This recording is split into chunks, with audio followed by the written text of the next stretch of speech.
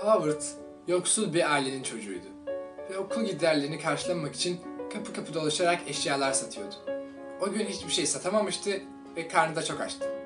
Bundan sonra çalacağı ilk kapıdan yiyecek bir şeyler istemeye karar verdi. Kapıyı açan sevimli genç bayını görünce utandı. Yiyecek bir şeyler istemek yerine affedersiniz bir bardak su rica edebilir miyim acaba diyebildi yalnızca. Genç bayan çocuğun aç olabileceğini düşünerek kocaman bir bardak süt getirdi ona. Çocuk sütü yavaş yavaş içine sindirerek içtikten sonra ''Çok teşekkür ederim. Borcum ne kadar?'' diye sordu genç bayana. Genç bayan ''Borcunuz yok.'' diyerek yüzünde sıcak bir gülümsemeyle devam etti. Annem gösterdiğimiz şefkat ve nezaket karşılığı olarak asla bir ödel ödenmesini beklemememiz gerektiğini öğretti bize, dedi. Çocuk, o halde size minnettarım. Yürekten teşekkür ederim, dedi.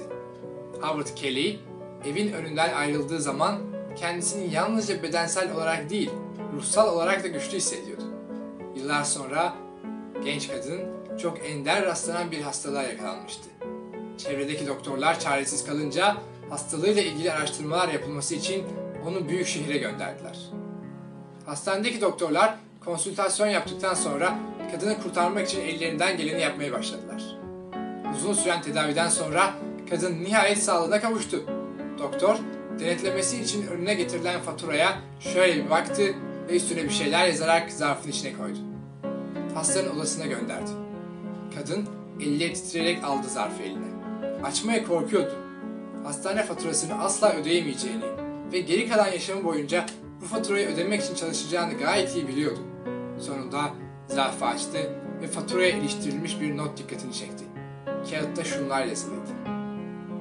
Hastane giderlerinin tamamı bir bardak süt karşılığında ödenmiştir.